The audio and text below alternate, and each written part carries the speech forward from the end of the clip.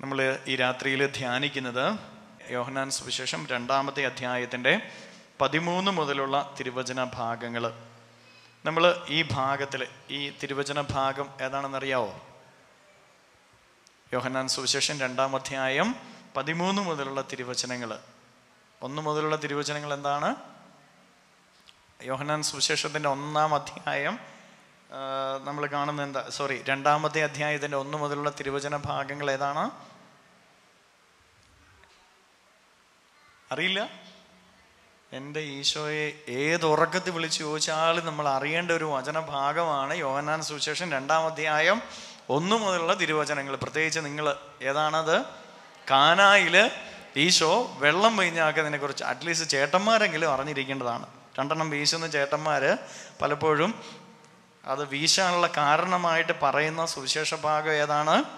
കർത്താവ് വീഞ്ഞാക്കി കൊടുത്ത് അത് ഏത് സുവിശേഷ ഭാഗമാണെന്ന് അറിഞ്ഞിട്ട് വേണം ഇനി ചെന്ന് മറ്റുള്ളവരോട് പറയുമ്പോൾ. അതുകൊണ്ട് ഒരു കാരണവശാലും മറക്കാൻ പാടില്ലാത്ത സുവിശേഷ ഭാഗമാണ് യോവനാൻ സുവിശേഷം രണ്ടാം അധ്യായം ഒന്ന് മുതലുള്ള തിരുവചനങ്ങൾ. അതിനുശേഷമാണ് പതിമൂന്ന് മുതലുള്ള തിരുവചനങ്ങളിലാണ് നമ്മൾ ഈശോ എങ്ങോട്ടാണ് പോകുന്നത്? ഈ വീഞ്ഞ് വെള്ളം വീഞ്ഞാക്കിയതിന് ശേഷം നേരെ എങ്ങോട്ടാണ് പോകുന്നത്? ജെറൂസലേം ദേവാലയത്തിലേക്ക്. എവിടെ ചെന്നിട്ട് എന്നാ ചെയ്യുന്നേ? ദേവാലയം. ആ മൊബൈൽ ഉള്ളത് നന്നായി. ഞാനത് നിരോധിക്കാൻ പോവുകയാണ് ഇവിടെ. നമ്മുടെ ചാപ്പലുകളിലും ഈ ആറാസി ധ്യാന കേന്ദ്രത്തിന്റെ പരിസരത്ത് മൊബൈൽ നിരോധിത മേഖലയാണ്. ഇപ്പോഴത് പലര് ബൈബിൾ നോക്കാനും പ്രാർത്ഥന നോക്കാനും എടുക്കുന്നുണ്ട് ചാപ്പലുകളിൽ. ഞാനിത് നിരോധിക്കാൻ പോവുകയാണ്. ശരിയല്ല ഇത്? ഇപ്പോൾ എടുത്ത് ഉപയോഗിച്ചുകൊണ്ടല്ല കേട്ടോ. ഇപ്പോൾ ഉപയോഗിച്ചുകൊണ്ടല്ല ഞാനിതിങ്ങനെ അവിചാരിതമായിട്ട് അങ്ങ് പറഞ്ഞത്. ഞാനിങ്ങനെ അതിനെക്കുറിച്ച് ചിന്തിച്ചുകൊണ്ടിരിക്കുക ഓക്കെ. അപ്പോൾ ഈശോ ജെറുസലേം ദേവാലയത്തിലേക്ക് വെള്ളം വീഞ്ഞാക്കി ഒരു കുടുംബത്തിൽ ഈശോ വെള്ളം വീഞ്ഞാക്കിയതിന് ശേഷം നേരെ എങ്ങോട്ടാണ് പോകുന്നത്? ജെറുസലേം ദേവാലയത്തിലേക്കാണ് ഈശോ പോകുന്നത്.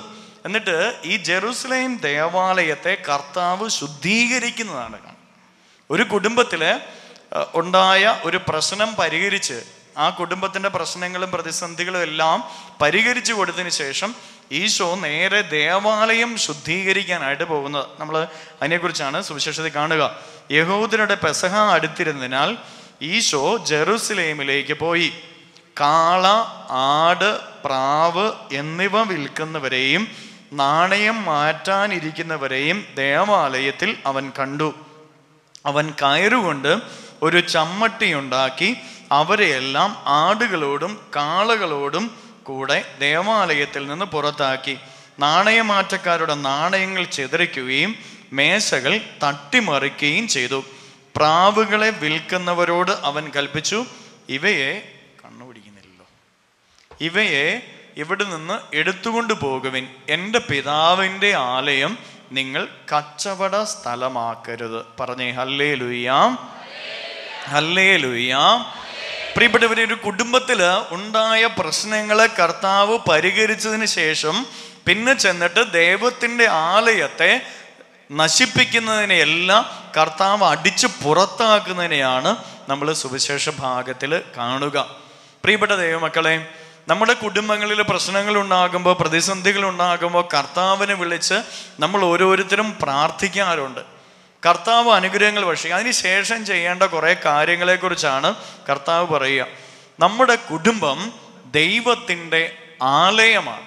ദൈവം സ്ഥാപിച്ച ദൈവ വസിക്കുവാനായിട്ട് ആഗ്രഹിക്കുന്ന ദൈവത്തിന്റെ ആലയമാണ് നമ്മുടെ ഓരോരുത്തരുടെയും കുടുംബങ്ങളെന്ന് നമ്മൾ ഓരോരുത്തരും മനസ്സിലാക്കണം. പറഞ്ഞേ ഹല്ലേ ലുയ്യാം ഹല്ലേ ലുയ്യാം നമുക്കറിയാം മനുഷ്യനിർമ്മിതമാണ് ഇങ്ങനെയുള്ള ദേവാലയങ്ങളെല്ലാം. എന്നാൽ കുടുംബമാകുന്ന ദേവാലയത്തെ ദൈവം സ്ഥാപിച്ചതും ദൈവം നിർമ്മിച്ചതുമാണ് അപ്പോൾ മനുഷ്യനിർമ്മിതമായ ദേവാലയത്തെ കർത്താവ് ശുദ്ധീകരിക്കുന്നുണ്ട് എങ്കിൽ ദൈവകരങ്ങളാൽ സ്ഥാപിതമായ ദൈവത്തിന്റെ ഹൃദയത്തിൽ ദൈവം തന്നെ സ്ഥാപിച്ച ഈ കുടുംബമാകുന്ന ദേവാലയത്തെ നമ്മൾ ഓരോരുത്തരും വിശുദ്ധീകരിക്കണമെന്നുള്ള കാര്യം നമ്മൾ മറന്നേക്കരുത്. അപ്പോൾ നമ്മുടെ കുടുംബമാകുന്ന ദേവാലയത്തെ നമ്മൾ വിശുദ്ധീകരിക്കണമെങ്കിൽ നമ്മുടെ കുടുംബത്തിൽ നിന്ന് എന്തെല്ലാം എടുത്തു മാറ്റണം? കർത്താവ് ദേവാലയത്തിലേക്ക് ഇടന്നു നിന്നിട്ട് കാളയനെയും ആടിനെയും പ്രാവിനെയും നാണയമാറ്റക്കാരെയൊക്കെ ഓടിച്ചു വിടുക. നമ്മുടെ കുടുംബത്തിൽ നമ്മൾ എന്തെല്ലാം എടുത്തു മാറ്റണം? നമ്മുടെ കുടുംബത്തെ നശിപ്പിക്കുന്ന കുടുംബമാകുന്ന ദേവാലയത്തിന്റെ പവിത്രതയെ നശിപ്പിക്കുന്ന കുറേയേറെ കാര്യങ്ങളുണ്ട്. എന്തെല്ലാം എടുത്തു മാറ്റണം? എന്തൊക്കെ എടുത്തു മാറ്റണം? ആദ്യം എടുത്തു മാറ്റേണ്ടത് കാളയെയാണ് എന്നാണ് കർത്താവ് പറയുന്നത്. നമ്മുടെ കുടുംബത്തിൽ കാളകളുണ്ടോ? ഉണ്ടോ? നമ്മുടെ കുടുംബത്തിൽ കാളകൾ ഉണ്ടോ എന്ന് നിങ്ങളിങ്ങനെ മസിൽ പിടിച്ചിരിക്കരുത്. കുടുംബത്തിൽ കാളകളുണ്ടോ? ഏ? ഇല്ല. ഉറപ്പാണോ? കാളയുടെ സ്വഭാവമുള്ളവരുണ്ടോ ചിരി കണ്ടുകഴിയുമ്പോൾ എനിക്ക് മനസ്സിലായി. കാളയുടെ അല്ല പോത്തിന്റെ സ്വഭാവമുള്ളവരും കുടുംബത്തിലുണ്ടെന്ന് എനിക്ക് മതി കാളയുടെ പ്രത്യേകത എന്നാ? ഈ കാളയുടെ പ്രത്യേകത എന്നാ? ഈ കാള എപ്പോഴും എന്തോ ഈ ജല്ലിക്കെട്ടിനൊക്കെ ഇങ്ങനെ നമ്മൾ കണ്ടു കഴിഞ്ഞു കഴിഞ്ഞാൽ ഈ ടി വിയിലൊക്കെ ഇങ്ങനെ കണ്ടിട്ടുള്ളൂ. ഞാൻ നേരിട്ട് കാളേനെ കണ്ടിട്ടുണ്ടെങ്കിലും ഈ സ്വഭാവം ശരിക്കും അറിയണമെങ്കിൽ ഈ ജല്ലിക്കെട്ടിനൊക്കെ ഈ കാളേനെ കൊണ്ടു നിർത്തി കഴിഞ്ഞു കഴിഞ്ഞാൽ ഈ കാളയുടെ സ്വഭാവം എന്താ? എപ്പോഴും ചീറ്റിക്കൊണ്ടിരിക്കും അല്ലേ? ഇങ്ങനെ തലയെ ഇങ്ങനെ പിടിച്ചുകൊണ്ട് ഒരു പ്രത്യേക ഒരു പിന്നെ മുമ്പിൽ ആരെങ്കിലും വന്നു കഴിഞ്ഞാൽ എന്ത് ചെയ്യും? കുത്തി പുറകിൽ ആരെങ്കിലും നിന്ന് കഴിഞ്ഞാലോ? എറിഞ്ഞു തൊഴിക്കും. കാൽ പുറകോട്ട് ഇട്ടിട്ട് എറിഞ്ഞു തൊഴിക്കും. അടുക്കാൻ പറ്റുമോ കാളയുടെ അടുത്തേക്ക്? ഇതുപോലെയാണ് നമ്മുടെ കുടുംബത്തിൽ പലരും ചില ചേട്ടന്മാരും ചില ചേച്ചിമാരും ഒക്കെ കുടുംബത്തിൽ ഒരെണ്ണത്തിന് അടുത്തെടുക്കാൻ പറ്റാത്ത സ്വഭാവമുള്ള ഒരു കുടുംബത്തിലുണ്ട്. മുമ്പിൽ ആരെങ്കിലും വന്ന് നിന്ന് കഴിഞ്ഞാൽ എറിഞ്ഞ് ഈ കൊമ്പ് വെച്ച് കുത്തി ശരിയാക്കും. പുറകിൽ നിന്ന് കഴിഞ്ഞാലോ? എറിഞ്ഞ് തൊഴിക്കുകയും ചെയ്യും. ഈ സ്വഭാവമുള്ളവർ നമ്മുടെ കുടുംബത്തിലില്ലേ? ഉണ്ടോ? ഈ ഉണ്ടോ? ഇല്ല?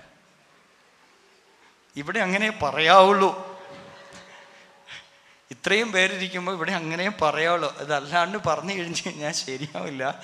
അതുകൊണ്ട് അങ്ങനെ തന്നെ പറയാവുള്ളൂ. പക്ഷെ ഉള്ളി പറഞ്ഞോണോ? ഉണ്ടെന്ന് ഉള്ളി പറഞ്ഞോണം. പറഞ്ഞേ ഹല്ലേ ലുയ്യാം വലതുകരം ഉയർത്തി പിടിച്ച് പറ ഹല്ലേ ലുയ്യാം കരങ്ങൾ വീശി പറഞ്ഞേ ഹല്ലേ ലുയ്യാം ഈ കാളയുടെ സ്വഭാവം എന്ന് പറയുന്ന പ്രിയപ്പെട്ടവരെ മുറിവേൽപ്പിക്കുന്ന സ്വഭാവം മറ്റുള്ളവർക്ക് മുറിവ് കൊടുക്കുന്ന സ്വഭാവമാണ്? ഒരെണ്ണത്തിനെ പോലും അടുത്തേക്ക് അടുപ്പിക്കുകയാണ് ചില ചേട്ടന്മാരുണ്ട് കുടുംബത്തിൽ ഭാര്യമാരെ അല്ലെങ്കിൽ മക്കളെ അടുത്തേക്ക് അടുക്കാൻ പറ്റാത്ത വിധത്തിൽ ഒരു കാര്യം പറയാനായിട്ട് സമ്മതിക്കാത്ത വിധത്തിൽ എന്തെങ്കിലും പറയാണ്ട് വന്നു കഴിഞ്ഞാൽ മുറിവേൽപ്പിക്കുന്ന വർത്തമാനം അല്ലാണ്ട് നാവിൽ നിന്ന് പുറത്ത് വീഴില്ല.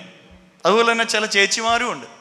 ഈ ഒരു അവസ്ഥയാണ് പല കുടുംബങ്ങളിലും കാണാനായിട്ട് സാധിക്കുന്നത്. പറഞ്ഞേ ഹല്ലേ ലുയ്യാം സ്വരം ഉയർത്തി പറ ഹല്ലേ ലുയ്യാം ഹല്ലേ ലുയ്യാം ഈ കഴിഞ്ഞ ദിവസം ഒരു ചേട്ടനും ചേച്ചിയും ഒരു കുടുംബത്തിലുള്ള മക്കളും ഒക്കെ കൂടെ കൗൺസിലിങ്ങിനായിട്ട് വന്നു.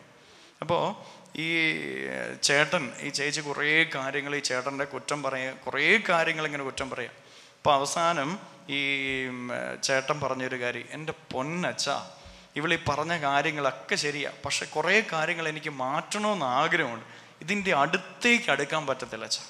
ഫുൾ ടൈം അടുത്തേക്ക് ചെന്ന് എന്തെങ്കിലും ഒന്ന് പറഞ്ഞു കഴിഞ്ഞാൽ അപ്പോൾ ഇളകുമെന്നാണ് പറഞ്ഞത് ഭദ്രകാളി ഇളകുന്ന പോലെ ഇളകുമെന്നാണ് പറഞ്ഞത് വേറൊരു വാക്ക ഉപയോഗിച്ച് അത് ഞാൻ ഇവിടെ പറയുന്നില്ല. ഇവിടെ പറയാൻ പറ്റത്തില്ലാത്തതുകൊണ്ട് ഞാൻ പറയുന്നില്ല.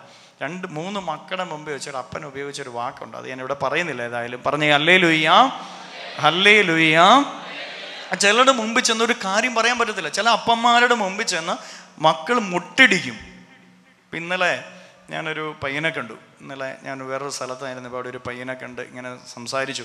സംസാരിച്ചുകൊണ്ടിരുന്ന് കഴിഞ്ഞപ്പോൾ അവൻ പറയുമായിരുന്നു അവൻ ഭയങ്കര തലതെറിച്ചവനായിട്ട് നടക്കുക. തലതെറിച്ചവെന്ന് പറഞ്ഞു കഴിഞ്ഞാൽ അവൻ ഇന്നലെ എന്നെ കണ്ടു കഴിഞ്ഞപ്പോൾ അവന്റെ അവസ്ഥ അതുപോലെ പരിതാപകരമായ ഒരു അവസ്ഥയിലാണ് ഇപ്പം ഈ പയ്യൻ എന്നോട് പറഞ്ഞു അപ്പം ഞാൻ അവനോട് ചോദിച്ചു എടാ നീ എന്തുകൊണ്ടാണ് ഇങ്ങനെ ആയത്? എന്നൊക്കെ ഇങ്ങനോട് ഇങ്ങനെ ഞാൻ സംസാരിച്ചു. സംസാരിച്ച് കഴിഞ്ഞപ്പോൾ അവസാനം ഇങ്ങനോട് പറയും എന്റെ പൊന്നച്ച എനിക്ക് ചെറുപ്പം തൊട്ട് അപ്പനിൽ നിന്നും അമ്മയിൽ നിന്നും മുറിവുകളാണ് കിട്ടിക്കൊണ്ടിരുന്നത്. അങ്ങോട്ട് അടുക്കാൻ പറ്റും ഒരു കാര്യം പറയാനായിട്ട് ഒരു കാര്യം ചോദിക്കാനായിട്ട് പറ്റത്തില്ലാത്ത വിധത്തിലായിരുന്നു അപ്പന്റെ സ്വഭാവം. അമ്മയുടെ സ്വഭാവം വലിയ വ്യത്യാസമൊന്നുമില്ലായിരുന്നു. ഇതുങ്ങളുടെ രണ്ടിന്റെയും കൂടെ നടുവിൽ കിടന്ന് മടുത്ത് അവസാനം ഞാൻ എങ്ങനെയായി പോയച്ചാന്ന് പറഞ്ഞു. അവന് കരയുക കിടന്നിട്ട്. ഞാനൊരു ധ്യാന കേന്ദ്രത്തിൽ രണ്ട് ദിവസം ഉണ്ടായിരുന്നു. അപ്പോൾ അവിടെ വെച്ചൊരു പയ്യനെ ഒരു ചെറുപ്പക്കാരനെ കണ്ട് പരിചയപ്പെട്ടു. അവൻ കരയുക കിടന്നിട്ട്.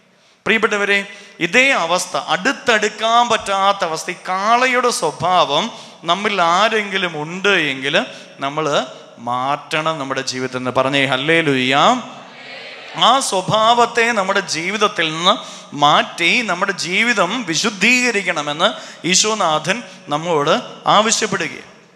അതുപോലെ തന്നെ ചിലരുണ്ട്. ചില കുടുംബങ്ങളിൽ അല്ലെങ്കിൽ ചില പിള്ളേരുടെ കാര്യം പറഞ്ഞു ഈ കഴിഞ്ഞ ദിവസം തന്നെ വന്ന് വന്നു കഴിഞ്ഞപ്പോൾ അപ്പൻ മൂന്ന് മക്കളാണുള്ളത് അതിൽ മകനെ മകനെ ചൂണ്ടിയിട്ട് പറയുക ഇരിക്കുന്ന കണ്ടില്ലേ ചാ നത്ത് കുത്തിയിരിക്കുന്ന പോലെ ഇരിക്കുന്ന കണ്ടില്ലേ പോത്താഴൻ അതിന്റെ അങ്ങനെ എന്തോ ഒരു വാക്ക് ഉപയോഗിച്ച്. എന്നിട്ട് പറഞ്ഞു അവന്റെ മുടിയും അവന്റെ കീരി ഫുൾ ടൈം മൊബൈലും വെച്ച് ഇങ്ങോട്ട് ഇരിക്കുക ഭക്ഷണം കഴിക്കാൻ വിളിച്ചു കഴിഞ്ഞാൽ പോലും കിടന്ന് അങ്ങോട്ട് ചീറുമെന്ന് പറഞ്ഞു. ഭക്ഷണം കഴിക്കാൻ വിളിച്ചു കഴിഞ്ഞാൽ പോലും കിടന്ന് ചീറ്റലാന്നാ പറഞ്ഞത് വരികയില്ല പ്രാർത്ഥനയില്ല ഭക്ഷണമില്ല. ഒരു നരന്ത് പോലെ ഇരിക്കണം. ഇവൻ പത്ത് പതിനെട്ട് വയസ്സും കണ്ടായി ഇവന്. ഇവന് നരന്തു പോലെ ഇരിക്കണേ. അപ്പോൾ മുടിയൊക്കെ ഒരുമാതിരി നീട്ട് ഒരു പക്ക പ്രാന്തനെ പോലെ ഒരു പ്രാന്തന്റെ ഒരു ഷേപ്പൊക്കെ ഉണ്ട്. അപ്പൻ തന്നെ അത് പറഞ്ഞു ഇരിക്കണ കണ്ടില്ലേ? എന്ന് ചോദിച്ചു. ഫുൾ ടൈം ഈ മൊബൈലും പിടിച്ചുകൊണ്ടുള്ള ഇരിപ്പാന്നാ പറഞ്ഞത് ചിലർക്ക് അങ്ങനെയുണ്ട്. ഈ സാധനം പിടിച്ചുകൊണ്ട് അങ്ങോട്ട് ഇരുന്ന് ആരെങ്കിലും ചെന്ന് വിളിച്ചു കഴിഞ്ഞു കഴിഞ്ഞാൽ പോലും കിടന്ന് അങ്ങോട്ട് ചെത്തറി തെറിക്കുകയാണ് ചിലർ പറഞ്ഞേ ഹല്ലേ ലുയ്യാം ഹല്ലേ ലുയ്യാം ഇതിനെക്കുറിച്ച് പ്രത്യേകിച്ച് ഈ മൊബൈൽ ഈ ആപ്പിൾ ടാബ് പിന്നെന്തോ സാധനമുള്ള? ഐഫോൺ ഈ സാധനം കണ്ടുപിടിച്ചത് ആരാ? സ്റ്റീവ്? ആരാണ് ഞാൻ എന്താ? Steve Jobs. അദ്ദേഹം പറയുന്നത് അദ്ദേഹത്തിന്റെ മക്കളെ കൊണ്ട് ഇത് ഉപയോഗിക്കപ്പെട്ടില്ലായിരുന്നു എന്ന് പറയണത് ഈ ആപ്പിൾ ഐഫോണും പിന്നെ ടാബും കണ്ടുപിടിച്ച വ്യക്തി അദ്ദേഹത്തിന്റെ മക്കളെ കൊണ്ട് ഇത് ഉപയോഗിക്കത്തില്ലായിരുന്നു എന്ന്. അതുപോലെ തന്നെ അദ്ദേഹത്തിന്റെ മക്കളെ പഠിപ്പിക്കാനായിട്ട് വിട്ടത് സാങ്കേതിക വിദ്യകൾ ഉപയോഗിക്കുക അധികമായിട്ട് ഉപയോഗിക്കത്തില്ലാത്ത ഒരു സ്കൂളിലായിരുന്നു മക്കളെ പഠിപ്പിക്കാൻ വിട്ടത്. അതുപോലെ തന്നെ വീട്ടിലേക്ക് വന്നു കഴിഞ്ഞാൽ ഇങ്ങനെയുള്ള കാര്യങ്ങൾ ഉപയോഗിപ്പിക്കത്തില്ലായിരുന്നു എന്നാണ് പറയണത് ഇദ്ദേഹം. ഇങ്ങനെയുള്ള ഒരു കാര്യങ്ങളും മക്കളെ കൊണ്ട് ഇദ്ദേഹം ഉപയോഗിക്കത്തില്ലായിരുന്നു. കാരണം ഇദ്ദേഹം ഇത് ലോഞ്ച് ചെയ്യുന്ന സമയത്ത് എല്ലാവരും ഇദ്ദേഹത്തെ പ്രശസ്തി കൊണ്ട് മൂടുന്നു. അങ്ങനെ ഇരിക്കുമ്പോൾ ഒരു പത്രലേഖൻ അദ്ദേഹത്തോട് ചോദിച്ചു വളരെ സന്തോഷമല്ലേ? മക്കളും ഭാര്യയൊക്കെ എന്താ പറയുന്നതെന്ന് പറഞ്ഞു കഴിഞ്ഞപ്പം എന്റെ മക്കളെ ഞാനിത് കാണിച്ചിട്ടില്ല എന്ന് ഇദ്ദേഹം പറഞ്ഞു. എന്റെ മക്കളെ ഇതിനെക്കുറിച്ച് ഞാൻ പറയുകയോ ഇതിനെക്കുറിച്ച് സംസാരിക്കുകയോ ചെയ്തിട്ടില്ല എന്ന് അദ്ദേഹം പറഞ്ഞത് ഞാൻ ഈ ദിവസങ്ങളിൽ ഒരു പുസ്തകത്തിൽ വായിക്കുകയുണ്ടായി. അദ്ദേഹം ഇതിനെക്കുറിച്ച് പറയുന്ന ഇതാണ് കുഞ്ഞുങ്ങൾ അരമണിക്കൂർ ഇത് ഉപയോഗിച്ച് കഴിഞ്ഞാൽ ടാബാണോ? ഐഫോണാണോ? ടാബാന്ന് എനിക്ക് തോന്നുന്നു.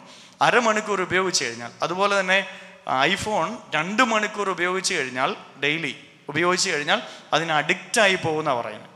അത്രമാത്രം ഇതിന് അഡിക്റ്റായി പിന്നെ അവരുടെ മനസ്സ് പോലും അങ്ങനെ ഒരു യാന്ത്രികമായി തിരുമെന്നാണ് പറയുക ഇപ്പോൾ മാതാപിതാക്കൾ ഈ കുഞ്ഞുങ്ങൾക്കൊക്കെ ഈ സാധനങ്ങളൊക്കെ മേടിച്ചു കൊടുക്കുന്ന ഒക്കെ മേടിച്ചു കൊടുക്കുകയും ഇത് ഉപയോഗിക്കുകയും ഒക്കെ ചെയ്യുമ്പോൾ ഒന്ന് ശ്രദ്ധിക്കുന്നത് നല്ലതാണ് ഇങ്ങനെയുള്ള കാര്യങ്ങളൊക്കെ. പറഞ്ഞു അല്ലേലും ലുയ്യാ വലതുകരം എഴുതി പിടിച്ച് പറ ഹല്ലേ ലുയ്യ അപ്പോൾ ഈ സാധനം അങ്ങോട്ട് കൈ പിടിച്ചുകൊണ്ടിരുന്നു കഴിഞ്ഞാൽ പിന്നെ യാന്ത്രികമായി തീരും. അടുത്തടുക്കാൻ പറ്റാത്ത വിധത്തിൽ സ്വഭാവം ആയിത്തീരും. അതുകൊണ്ട് പ്രിയപ്പെട്ടവരെ നമ്മളൊന്ന് പരിശോധിച്ച് നോക്കുക.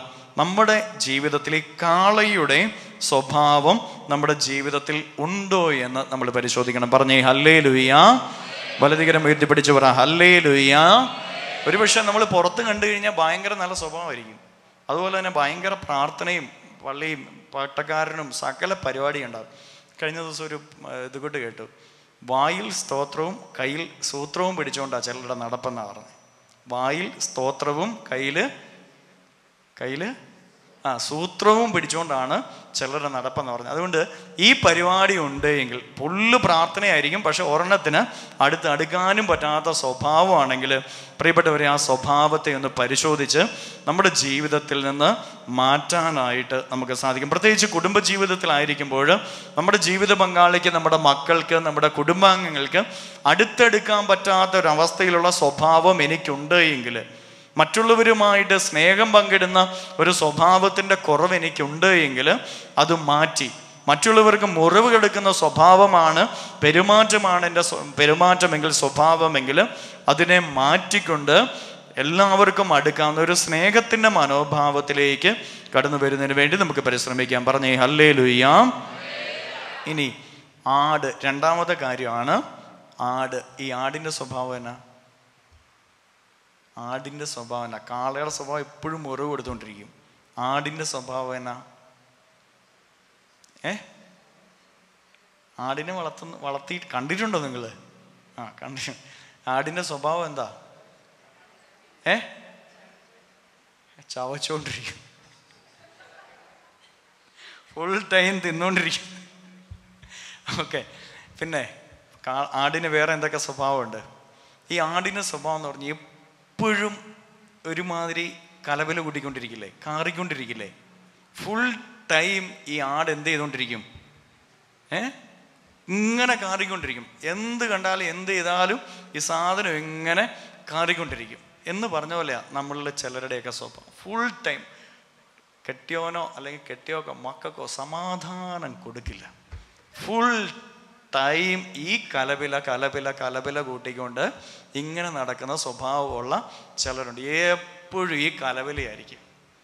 കെട്ടിയവനാണെങ്കിൽ വൈകുന്നേരം ഒന്ന് ജോലിയൊക്കെ കഴിഞ്ഞ് വന്ന് ഒന്ന് മര്യാദയ്ക്ക് ഇരുന്നേക്കാന്ന് ഓർക്കുമ്പോഴായിരിക്കും കെട്ടിയോട് വന്നിട്ട് എന്റെ പൊന്നു മനുഷ്യ ഇന്ന് അങ്ങനെ ചെയ്തില്ല ഇങ്ങനെ ചെയ്തില്ല. നിങ്ങൾ എന്നതാ ചെയ്തു വെച്ചത്? അങ്ങനെയാണ് ഇങ്ങനെയാണ്.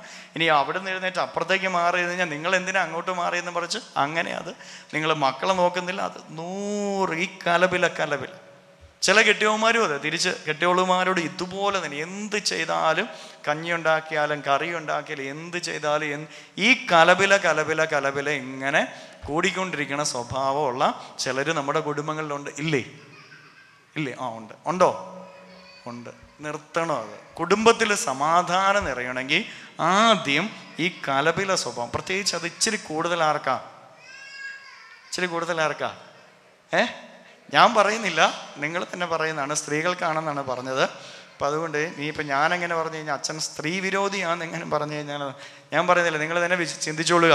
ചില സ്ത്രീകൾക്ക് അങ്ങനെ അത് കൂടുതലുണ്ടെന്നാണ് പറയുന്നത് എപ്പോഴും ഈ കലപില കൂട്ടിക്കൊണ്ട് നടക്കണം സ്വഭാവം പുറകെ നടന്ന് ശല്യം ചെയ്യും ചിലർ എവിടെയെങ്കിലും ഒന്ന് സ്വസ്ഥമായിട്ട് ഇരിക്കാന്ന് വെച്ച് കഴിഞ്ഞാൽ പുറകെ നടന്ന് ശല്യം ചെയ്തുകൊണ്ടിരിക്കണ ചിലരുണ്ട് നമ്മുടെയൊക്കെ കുടുംബങ്ങൾ. അങ്ങനെയുള്ള സ്വഭാവം ഉണ്ടെങ്കിൽ മാറ്റണമെന്ന് കർത്താവ് പറയാം ഇനി ആടിന് ഒരു സ്വഭാവമല്ല ആടിന് പല സ്വഭാവമുണ്ട്.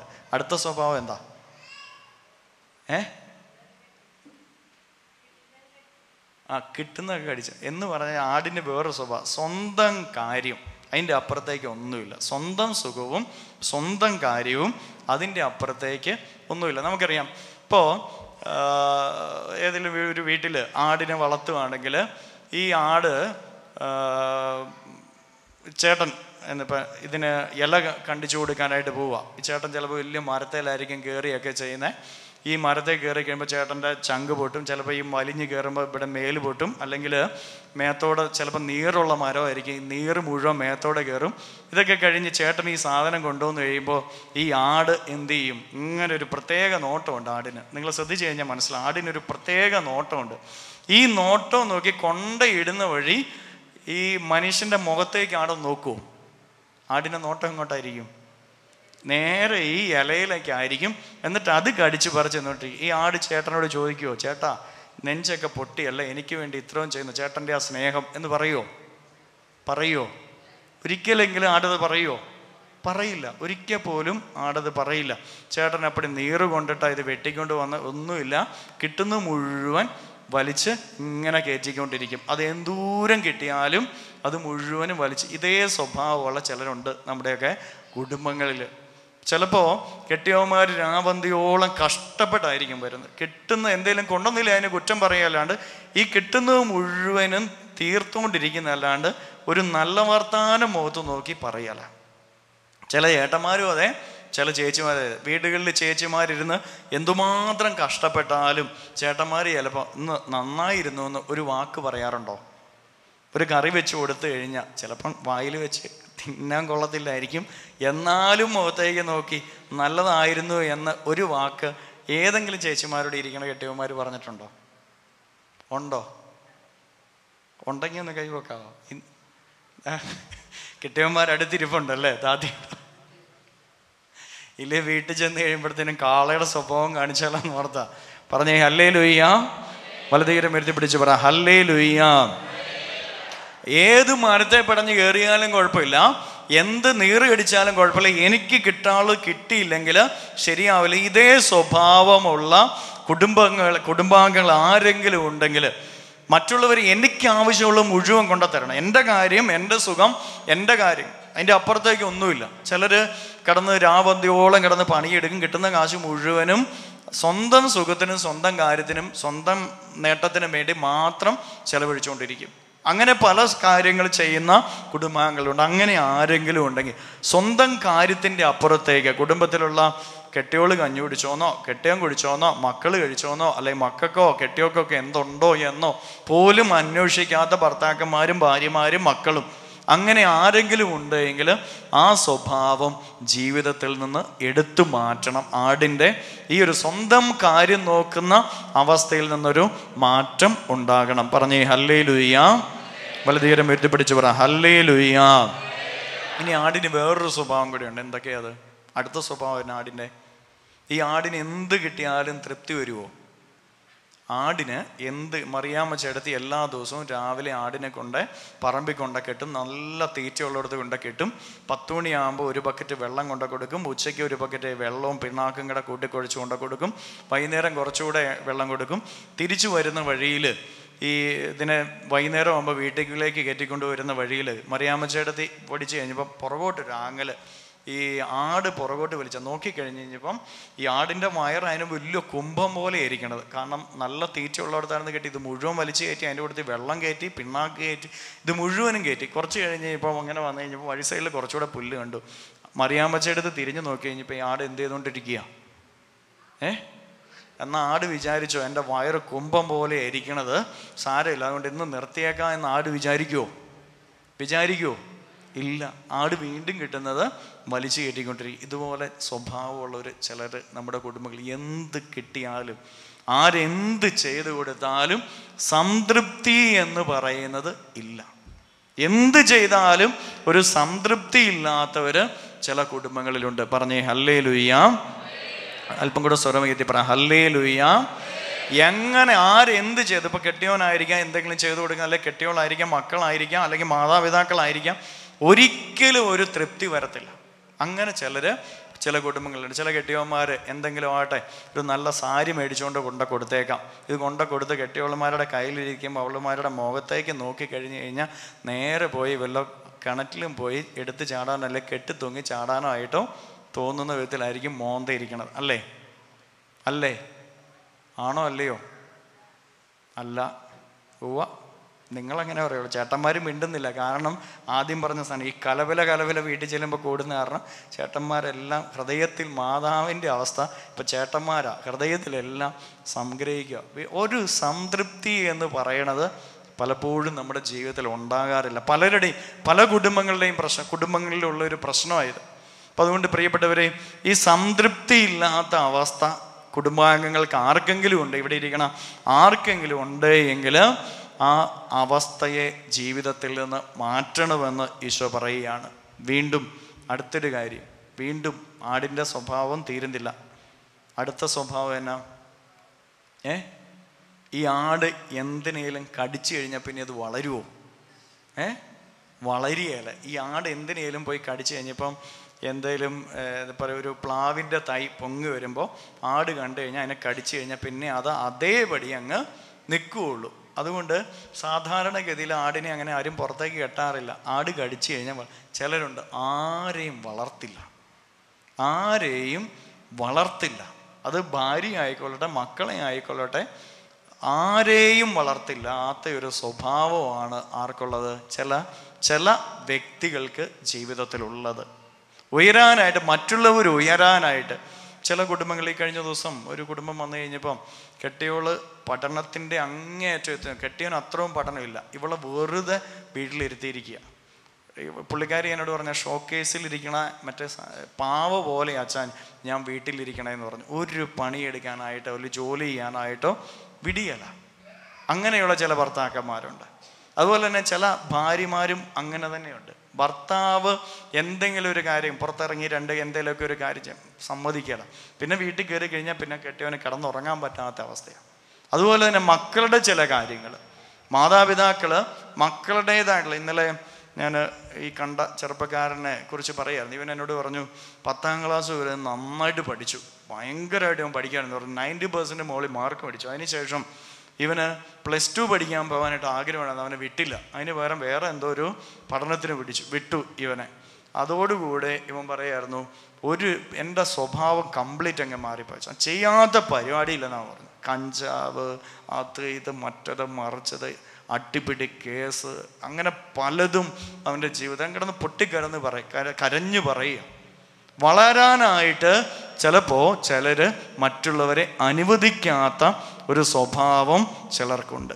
പ്രിയപ്പെട്ടവരെയും അങ്ങനെ ആർക്കെങ്കിലും ഈ ഒരു സ്വഭാവം ഉണ്ട് എങ്കിൽ അത് ജീവിതത്തിൽ നിന്ന് എടുത്തു മാറ്റാനായിട്ട് സാധിക്കും. അപ്പോൾ ആടിന്റെ സ്വഭാവമാണെന്ന് എപ്പോഴും കലബല കൂട്ടുന്ന സ്വഭാവം സ്വന്തം കാര്യം പിന്നെ ഒന്നിലും സംതൃപ്തി ഇല്ലാത്ത അവസ്ഥ പിന്നെ മറ്റുള്ളവർ വളരാനായിട്ട് അനുവദിക്കാത്ത ഒരവസ്ഥ. പറഞ്ഞേ ഹല്ലേ ലുയ്യ വലതുകരം ഉയർത്തിപ്പിടിച്ചവർ ഹല്ലേ ലുയ്യ കരങ്ങൾ വീശി പറഞ്ഞേ ആവേ മരിയ. അമ്മയുടെ വിമല ഹൃദയത്തിലേക്ക് നമ്മുടെ കുടുംബത്തെ സമർപ്പിച്ച് പറഞ്ഞേ ആവേ മരിയ. ഇനി അടുത്ത ഒന്നാണ് കർത്താവ് പുറത്താക്കിയ വേറൊന്നാണ്. അടുത്ത ഇപ്പൊ ആടിനെ കാളയെ പുറത്താക്കി പിന്നെ ആടിനെ പുറത്താക്കി അടുത്ത പുറത്താക്കി എന്തിനെയാണ്? പ്രാവിന്. ഈ പ്രാവിന്റെ സ്വഭാവം എന്താ? പ്രാവിന് എന്ത് സ്വഭാവമാണ് ഉള്ളത്? നിഷ്കളങ്കത. ആണോ? പ്രാവിന്റെ സ്വഭാവം നിഷ്കളങ്ക സ്വഭാവമുണ്ടോ? ആരുടെയും കാര്യത്തിൽ മറ്റുള്ളവർ മുതലെടുക്കുന്ന ഒരു സ്വഭാവമാണ് ആടിന് ഉള്ളത്. നീ പറഞ്ഞ പോലെ നിഷ്കളങ്ക സ്വഭാവം എന്നൊക്കെ അതിനെ വിളിക്കാമെന്ന് എനിക്ക് ഈ വേണ്ട ഇപ്പം വേണ്ട പറയണ്ട. പറഞ്ഞേ ഹല്ലേ ലുയ്യ ഓക്കെ. അപ്പോൾ മറ്റുള്ളവർ മുതലെടുക്കുന്ന സ്വഭാവം. ഈ പ്രാവിന്റെ സ്വഭാവം അങ്ങനത്തെ ഒരു സ്വഭാവം? ഇങ്ങനെ നിഷ്കളങ്കമായിട്ട് ഇങ്ങനെ ഇരിക്കുകയുള്ളൂ. ചില കുടുംബങ്ങളിലുണ്ട് ചില ഭർത്താക്കന്മാർ വളരെ പാവമായിട്ട് ഇങ്ങനെ ഇരിക്കുകയുള്ളൂ. ഭാര്യമാർ അത് മുതലെടുക്കുന്ന അവസ്ഥ. ചിലർ ഭർത്താക്കന്മാർ അല്ല ഭാര്യമാർ പാവമായിരിക്കും ഭർത്താക്കന്മാർ അത് മുതലെടുക്കുന്നു. ചില കുടുംബങ്ങൾ അപ്പനും അമ്മയും പാവമായിരിക്കും ആര് മുതലെടുക്കും? മക്കൾ മുതലെടുക്കുന്നു. മറ്റുള്ളവർ അത് ഭാര്യയായിക്കൊള്ളട്ടെ മക്കളായിക്കൊള്ളട്ടെ മുതലെടുക്കുന്ന സ്വഭാവം നമ്മുടെ ജീവിതത്തിൽ ഉണ്ടാകാൻ പാടില്ല. അങ്ങനെ പാവമായിട്ട് ഇരിക്കേണ്ടവരല്ല നമ്മളൊരു. ദൈവം നമുക്ക് വിവേകം തന്നിട്ടുണ്ട് ബുദ്ധി തന്നിട്ടുണ്ട് ജ്ഞാനം തന്നിട്ടുണ്ട്. ഇതനുസരിച്ച് പ്രവർത്തിക്കുന്നവരും ജീവിക്കുന്നവരുമായിട്ട് നമ്മൾ ഓരോരുത്തരും മാറണമെന്ന് ദൈവമായ കർത്താവ് നമ്മോട് ആവശ്യപ്പെടുകയാണ്. സ്വരമേതി പറഞ്ഞേ ഹല്ലേ ലുയ്യാം ഹല്ലേ ലുയ്യ അപ്പം അതുകൊണ്ട് മറ്റുള്ളവർ നമ്മളൊന്ന് നമ്മൾ തന്നെ നമ്മളെ തന്നെ ഒന്ന് പരിശോധിച്ച് നോക്കണം. മറ്റുള്ളവർ അതെന്റെ ഭാര്യ ആയിക്കൊള്ളട്ടെ അതുപോലെ തന്നെ എന്റെ മക്കളായിക്കൊള്ളട്ടെ അല്ലെങ്കിൽ മാതാപിതാക്കളായിക്കൊള്ളട്ടെ മറ്റുള്ളവർ എന്നെ മുതലെടുക്കുന്ന ഒരു സ്വഭാവമാണോ എന്ന് എന്റെ സ്വഭാവം എന്ന് നമ്മൾ ഓരോന്ന് പരിശോധിച്ച് നോക്കണം. അങ്ങനെ ഒരു സ്വഭാവമാണെങ്കിൽ ആ സ്വഭാവത്തിൽ നിന്ന് മാറണം നമ്മൾ ഓരോരുത്തരും. അതുപോലെ തന്നെ നമ്മൾ മറ്റാരെങ്കിലും മുതലെടുക്കുന്നുണ്ടോ എന്ന് നമ്മൾ നോക്കണം. നമ്മുടെ ഭാര്യയോ ഭർത്താവിനെയോ മക്കളെയോ മുതലെടുക്കുന്നവരാണോ നമ്മളെന്നുകൂടെ ഒന്ന് പരിശോധിച്ച് നോക്കുന്നത് നല്ലതാണ്. വീണ്ടും കർത്താവ് ചെയ്ത പ്രവൃത്തി എന്താണ്? അത് അത് കഴിഞ്ഞ് കഴിഞ്ഞാൽ കർത്താവ് ചെയ്തതിന കാളയെയും ആടിനെയും പ്രാവിനെയും പുറത്താക്കിയിട്ട് നാണയമാറ്റക്കാരുടെ നാണയപ്പെട്ടി മേശ തട്ടിത്തെറിപ്പിക്കുകയും അവരെ പുറത്താക്കുകയും ചെയ്യുന്നുണ്ട്. പറഞ്ഞേ ഹല്ലേ ലുയ്യ പണത്തോടുള്ള അമിതമായ ആസക്തിയെ കർത്താവ് വെറുക്കുന്നു എന്നാണ് ഇതിന്റെ അർത്ഥം.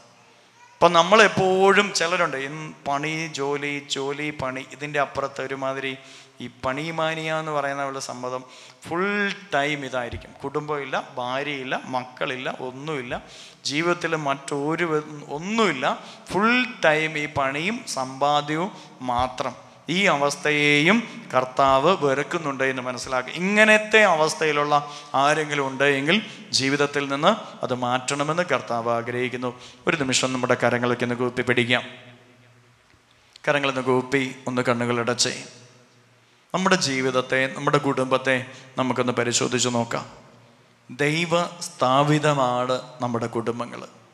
ദൈവം തന്റെ ഹൃദയത്തിൽ സ്ഥാപിക്കുകയും തന്റെ വാക്കുകളാലും കരങ്ങളാലും പ്രവൃത്തികളാലും പണിതുയർത്തുകയും ചെയ്ത ഭൂമിയിലെ ദേവാലയമാണ് എന്റെ കുടുംബം. ദൈവമാണ് എന്നെ കുടുംബജീവിതത്തിലേക്ക് വിളിച്ചിരിക്കുന്നത്. മനുഷ്യ കരങ്ങളാൽ നിർമ്മിതമാണ് ലോകത്തിലെ മറ്റ് ദേവാലയങ്ങൾ.